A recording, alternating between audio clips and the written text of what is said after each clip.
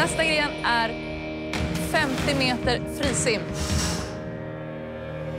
Alla vet liksom att jag, jag är inte så kunnig på simning. Mycket av pressen i det här kommer att ligga på mig. Hur tror du att de hanterar nerverna nu?